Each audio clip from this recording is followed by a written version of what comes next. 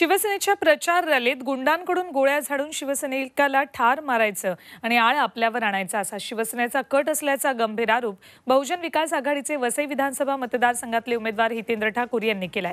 प्रदीप शर्मा यांनी अनेकांना खोट्या चकमकीत मारलं आपल्याच सहकाऱ्यांना अडकवलं आणि कोट्यवधी रुपयांची माया गोळा केली असा आरोप हितेंद्र ठाकूर यांनी केलाय.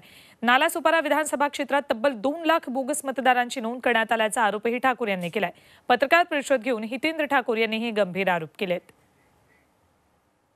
गेल्या वेळी यांनी फॉर्म भरलेला तो आर पी आयमधून आणि त्याच्यामध्ये ॲफिडेविट प्रतिज्ञापत्रकामध्ये लिहिले आहे का मी सेल्फ एक तर सस्पेंड अधिकारी फॉर्म भरू शकत नाही. जो गव्हर्नमेंट सर्व्हिसमध्ये आहे तो फॉर्म भरू शकत नाही. फॉर्म भरला तर लिहायचं होतं सर्व्हिसमध्ये आहे तर फॉर्म रिजेक्ट होईल. म्हणून सेल्फ बिझनेस हे प्रतिज्ञापत्रकावर खोटं लिहिलं आहे पोलिसांनी आणखीन डिपार्टमेंटनी ह्याच्यावर त्याच वेळी कारवाई करायला पाहिजे ते पण सोडणार नाही मी.